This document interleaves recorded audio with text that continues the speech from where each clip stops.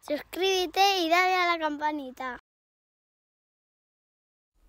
Muy buenos días, bienvenidos a un nuevo análisis mañanero.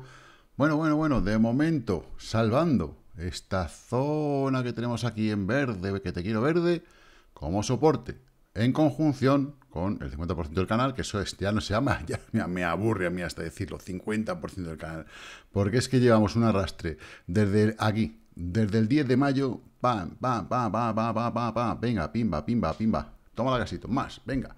Y joder, es, ya empieza a ser un poco aburridito. Lo que hace falta es romper ese canal, hacia arriba o hacia abajo. A mí, sinceramente, me da igual. Como preferencia, hacia abajo. Porque es donde podría meter más chicha. Que no lo hace ahora, lo hará en un futuro. Romperá esa zona hacia abajo. Eso es lo que yo creo. Si tú crees algo diferente, dímelo. Por cierto, esta tarde tenemos al eh, profe de psicología del trading que nos va a contestar pues, a una de las preguntas que se han estado haciendo en estos días para cómo de alguna forma intentar controlar la ansiedad. Esto es importante. Controla tu ansiedad. Eh, si tenéis alguna pregunta para el profe, ya sabéis, se la ponéis. Y si tenéis algún token que queráis eh, bueno, pues que le demos una vuelta, pues lo analizamos y listo. Em, el SP500 de momento hoy está pues tranquilito, ha abierto un poquito la baja, ahora sube, está ahí tonteando, ¿vale? O sea que bueno, tenemos un, día, un día de relax, en cualquier momento va a romper la alza, tiene esa pinta, ya veremos a ver qué es lo que decide. Hoy es viernes, hoy es viernes y el cuerpo lo sabe, pues eso, eh, Hoy suele ser un día de recogida de beneficios en muchas plazas y en muchos sitios, ¿vale?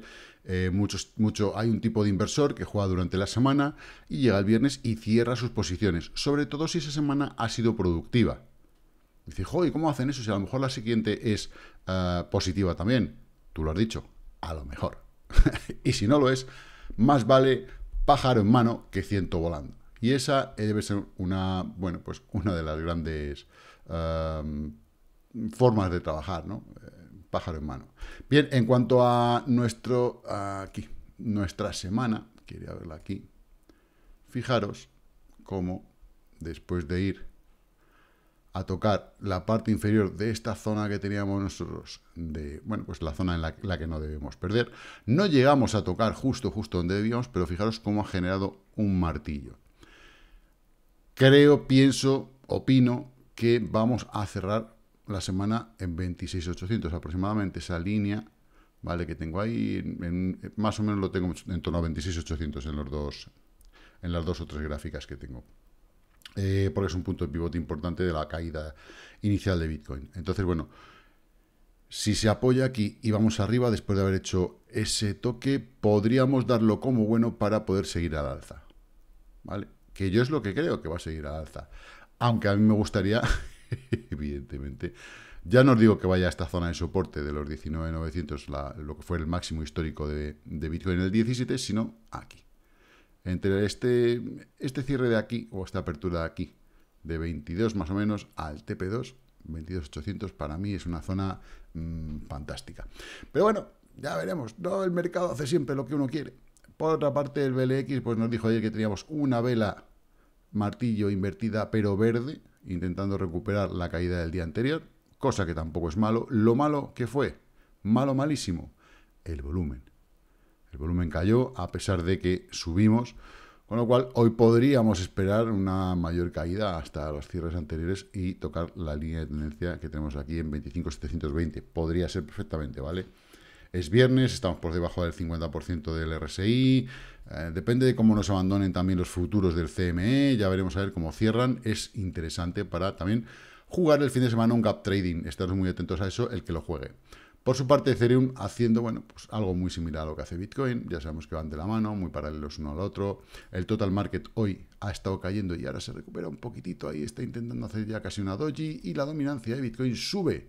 Si el total market baja, por poco que sea, y la dominancia de Bitcoin sube, quiere decir que el poco dinero que sale de aquí se está moviendo a Bitcoin y además el dinero nuevo que entrando, está entrando también, con lo cual las altcoins estarán bastante paraditas.